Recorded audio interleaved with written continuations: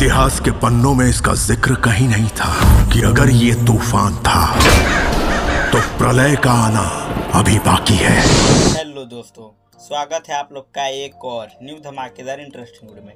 तो फाइनली दोस्तों, भूल भुलैया थ्री मूवी सिनेमा घर में रिलीज़ हो चुकी है और पर्सनली मुझे कैसी ये मूवी लगी है मैं आप लोग को बताऊँगा और आप लोग को ये मूवी थिएटर्स में देखनी चाहिए या फिर नहीं, सारी इन्फॉर्मेशन मैं आप लोग को इस वीडियो में दूँगा। लेकिन उससे पहले अगर आप लोग कार्तिक आर्यन के फैंस हैं तो चैनल को सब्सक्राइब करके बेल नोटिफिकेशन को ऑल पे सेलेक्ट कर लीजिए तो दोस्तों, अगर आप लोग ने भूल भुलैया टू देखा होगा तो आप लोग को भूल भुलैया थ्री भी बिल्कुल पसंद आने वाली है। जैसा कि इस ट्रेलर में दिखाया गया था, वैसा सब सेम इंगेजमेंट इस मूवी ने थिएटर्स में दिया है। जी हाँ दोस्तों, आप लोग को कहीं भी बोरिंग फील नहीं होगा। मुझे तो काफ़ी पर्सनली ये अच्छी मूवी लगी है और ख़ासकर कार्तिक आर्यन का लुक और डायलॉग डिलीवरी और इनका एक्टिंग बहुत ज़्यादा पसंद आया है मुझे।